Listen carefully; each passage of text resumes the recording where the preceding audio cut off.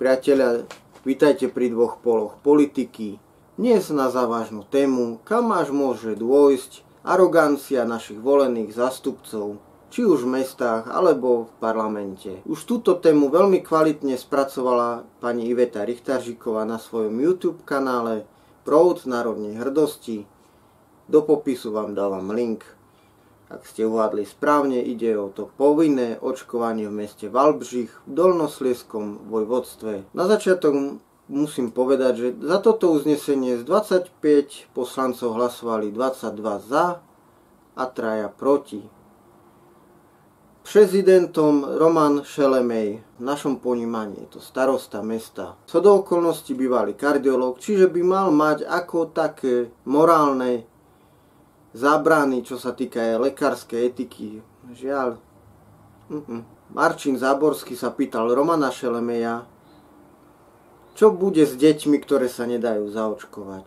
A krútil sa ako taký had.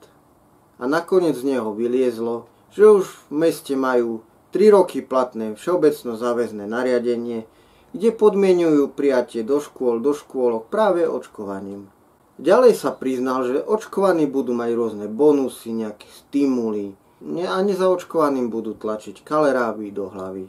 Už to poznáme aj od nás, kampáne všelijaké.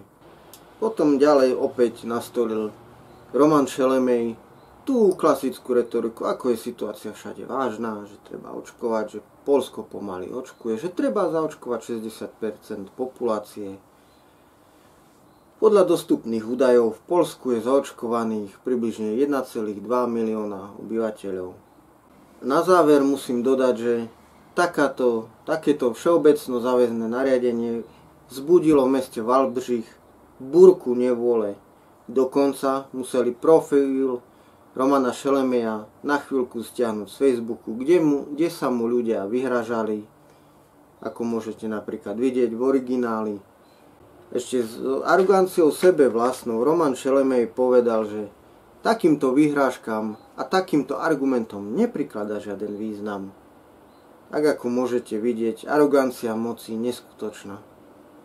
Tak priatelia, ktoré mesto slovenské bude nasledovať takýto príklad mesta Valbřich, bude to Bratislava, Trnava, Nitra, možno Košice.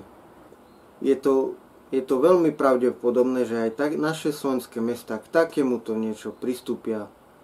Alebo opäť pán Mikas vydá vyhlášku, kde nám nariadi povinné očkovanie.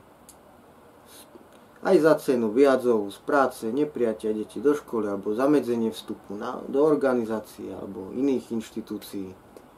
Takže priatelia, ďakujem za pozornosť, komentujte, lajkujte. Váš Miťo Pepe